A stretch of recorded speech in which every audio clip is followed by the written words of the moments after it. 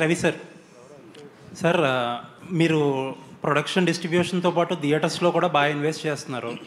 మనకేంటంటే మూవీ పిచ్చోళ్ళు ఎక్కువ ఉన్న స్టేట్స్ మన తెలుగు స్టేట్స్. మనకు ఒక లోటు ఏంటంటే అసలు ఆ యొక్క ఐమాక్స్ స్క్రీన్ కూడా లేదు రెండు తెలుగు స్టేట్స్లో.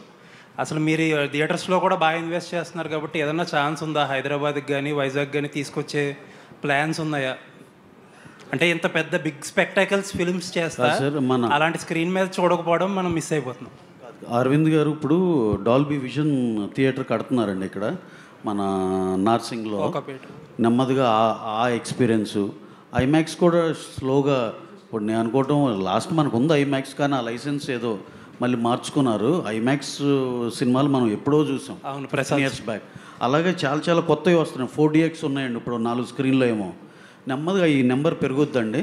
పెరిగిన కొద్దీ వాటితో పాటు కాలంతో పాటు మార్పులాగా మేము కూడా నెమ్మదిగా వాటిలో పార్ట్ అవుతాం. అంటే ఇమీడియట్గా ఏం ప్లాన్ చేయట్లేదా? ఎందుకంటే ఇప్పుడు ఏది పెద్దది ప్లాన్ చేసినా మీరే చేయాలి ముందు. అలా ఏం లేదండి భలే వాళ్ళు. ఎగ్జిబిటర్లు ఎగ్జిబిటర్లో పెద్దవాళ్ళు ఉన్నారు డిస్ట్రిబ్యూటర్లు ఉన్నారు మేము సినిమాలు ఇలా తీస్తా వెళ్తే అదే హ్యాపీ. సార్ రవి గారు? కర్ణాటక డిస్ట్రిబ్యూటర్. సార్, రవి గారు. Sir sir. సార్ ఇక్కడ కర్ణాటక డిస్ట్రిబ్యూటర్ ఆయన. ఇక్కడ సార్ ఇక్కడ ఇక్కడ. సార్ అంటే యాక్చువల్గా ఇంతకుముందు తెలుగు సినిమాలు ఏంటంటే ఓన్లీ తెలుగులోనే రిలీజ్ చేసేవారు. ఇప్పుడు కన్నడలో కూడా డబ్ చేసి మరి రిలీజ్ చేయడం ఇది వస్తుంది కదా. సో దానివల్ల ఏంటంటే తెలుగు సినిమాలకి సంబంధించిన మార్కెట్ పెరుగుతుందా లేదా తెలుగు వర్షన్ వరకు తగ్గుతుంది అనుకోవచ్చు. ఎలా చూ ఎలా చూడొచ్చు ఆ మార్పు అనేది? సార్ ఎట్లుందంటే ఇంతకుముందు తెలుగు వర్షన్ ఒకటే ఉన్నింది. మనకి కొన్ని ఏరియాస్ పోతా ఉండలేదు సార్ సినిమాలు. ఇప్పుడు అన్ని ఏరియాస్ ఇంక్లూడింగ్ మంగళూరు అక్కడంతా మనకి తెలుగు సినిమాలు పోయిండేవి కాదు. ఇప్పుడు ఆల్మోస్ట్ ఆల్ కన్నడ సినిమాలు ఎట్లా పోతున్నాయో ఈక్వలెంట్గా కన్నడ మూవీస్ ఈక్వలెంట్గా పోతున్నాయి సార్. ఇప్పుడు మన దావణగిరిలో అదే థియేటర్ ఉంది సార్ కలికి వేసాం సినిమా అంతకుముందు సినిమా తెలుగు సినిమాలు వేస్తే ఒక పక్క తెలుగు సినిమా సైమల్టేనియస్గా రిలీజ్ అయింది మాదే మా థియేటర్లో కలికి వేసాం మోర్ దాన్ తెలుగు కన్నడ వచ్చింది సార్ మాకు అక్కడ. నేను ఈసారి దానికి ఎక్స్పెక్ట్ చేస్తున్నాను సార్. కర్ణాటకలో డెఫినెట్లీ హ్యూజ్ వస్తుందని ఎక్స్పెక్ట్ చేస్తున్నాను సార్. కర్ణాటకలో Kantara KGF is a huge figure sir ఇది. బట్ దాన్ని క్రాస్ చేస్తుంది అని డెఫినెట్ కాన్ఫిడెంట్గా ఉన్నాం సార్ క్రాస్ చేసి చూపిస్తాం సార్ డెఫినెట్గా నవీన్ గారు నవీన్ గారు. It's a humble request అండి. Please, mic pass చేయవలసిందిగా request నాన్ థియేటర్. ఇన్కమ్ అనేది ఒకటి అయితే ఉంది. సరే థియేటర్ అనేది పక్కన పెడితే నాన్ థియేటర్ ఇన్కమ్ అనేది ఏదైతే ఉందో అది హండ్రెడ్ పర్సెంట్ అంటే మీ బిజినెస్ లెక్కలు ఎందుకు చెప్పాలంటే అది వేరే ఆర్గ్యుమెంట్ కానీ హండ్రెడ్ పర్సెంట్ ట్యాక్సిబుల్ ఇన్కమే కదా. మీరు ప్రౌడ్గా ఆ ఫిగర్స్ ఎందుకు అఫీషియల్గా అనౌన్స్ చేయరు? అంటే మేము అనౌన్స్ చేయకపోయినా వెబ్సైట్లో రాస్తూ ఉంటారండి. అంటే సందర్భం ఉండాలి కదా అనౌన్స్ చేయడానికి. ఆ, మీరు అథెంటిక్గా అనౌన్స్ చేస్తే అది ప్రౌడ్గా ఉంటుంది కదా ఫ్యాన్స్ దిస్ ఫిల్మ్ ఈ ఫిల్మ్ చాలా బాగా చేసామండి. నాన్ థియేటర్లు we did around four hundred జర్నలిస్టులు ఒకళ్ళు ఒక క్వశ్చన్ అడగండి. పది క్వశ్చన్లు అడుగుతున్నారు రవి గారు ఆ, ఇప్పుడు సినిమాకి పుష్ప వన్కి మాటలు పాటలు బలం. మాటల విషయంలో తగ్గేదిలే కావచ్చు ఇలాంటి డైలాగ్స్ అన్ని చాలా పాపులర్ అయ్యాయి. మరి టూ మీద ఎట్లాంటి ఎక్స్పెక్టేషన్స్ పెట్టుకోవచ్చు ఫ్యాన్స్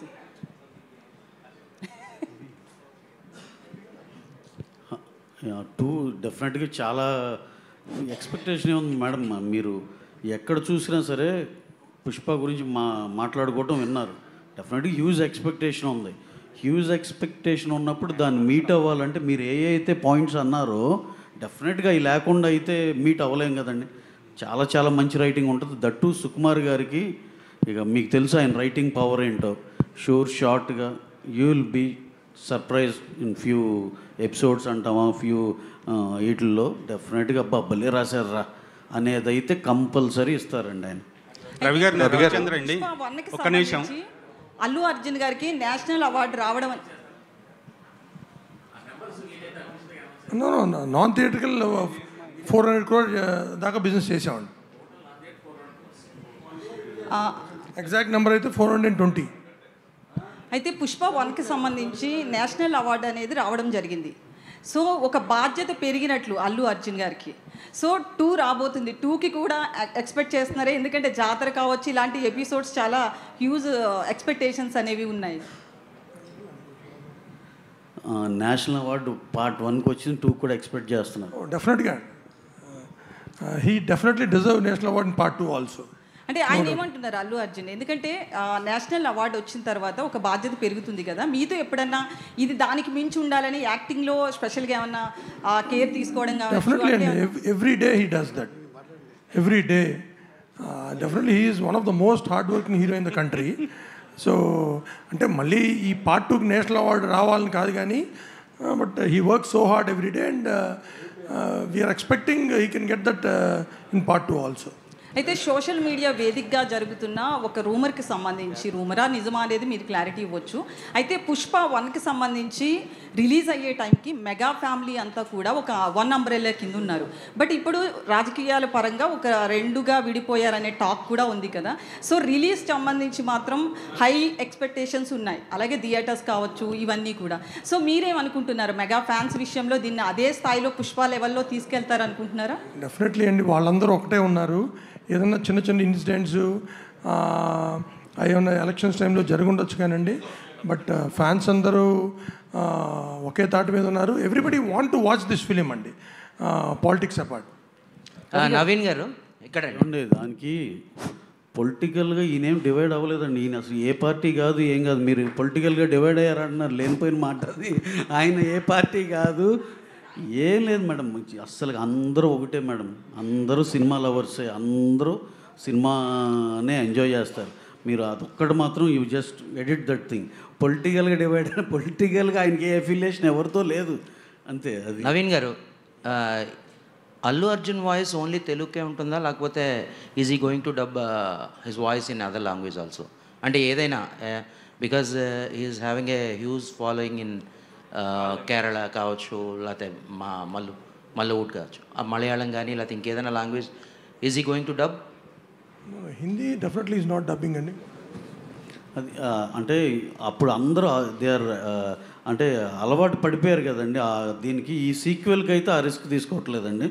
వన్ ఎలా ఉందో దాని కంటిన్యూటీలో ఉంటే బాగుంటుంది అన్నట్టు అసలు ఆ ఆలోచన చేయలే యాక్చువల్గా రవి గారు నవీన్ గారు. ఇంత పొటెన్షియల్ ఉన్న అల్లు అర్జున్ని సుకుమార్ని అలాగే మైత్రి మూవీ మేకర్స్ ఇలాంటి పొటెన్షియల్ ఉన్న ముగ్గురు కూడా ఒకే సినిమా మీద మూడు సంవత్సరాలు స్ట్రక్ అవ్వటం ఇండస్ట్రీకి ఎంతవరకు మంచిదంటారు బహుశా మీ పర్సనల్గా మీకు ఒక మంచి సినిమా తీసామనే ఫీలింగ్ ఉండొచ్చు బన్నీ గారికి ఒక మంచి సినిమా నటించాననే ఫీలింగ్ ఉండొచ్చు బట్ ఇండస్ట్రీకి ఎంతవరకు అది కరెక్ట్ లేదండి అందరూ హీరోస్ అందరూ కూడా దే ఆర్ ఇన్ రీథింక్ ఇది అలా ఎక్కువ కాలం ఎక్కువ టైం కా చేయకుండా టూ ఇయర్స్కి త్రీ ఫిల్మ్స్ చేయాలని ఆల్మోస్ట్ పెద్ద హీరోలు అందరూ అదే దాని మీద డిసైడ్ అయ్యారండి. ఇక నుంచి ఆ పేస్ పెరుగుతుంది. ఈ ఒక్క సినిమాకి చిన్న ఎగ్జామ్షన్ ఇవ్వండి సార్. ఎందుకంటే ఈ త్రీ ఇయర్స్ చేసినా సరే దాంట్లో ఎంత హార్డ్ వర్క్ చేశారో మేము దగ్గరుండి మేము చూసాం. సుకుమార్ గారు కానీ లేకపోతే బన్నీ గారు కానీ దేవి గారు కానీ ఫగత్ ఫాజుల్ మొత్తం సార్ వీళ్ళు వాళ్ళని కాదు. ఆఖరికి మా కెమెరా డిపార్ట్మెంట్ వీళ్ళు ఆ కూబా అని ఒక పౌలిష్ కెమెరామెన్ ఉన్నాడు సార్. అతనైతే అసలుకి అసలు ఇలా కూడా పనిచేస్తారా అన్న అన్న దాంట్లో పగలు రాత్రి పనిచేస్తాడు సార్ అతను. అలాగే everyone have given their hundred percent అండి. We hope will see that outcome of giving hundred percent on December fifth. Ravi గారు రవి గారు మైత్రి గారు. సార్ అంటే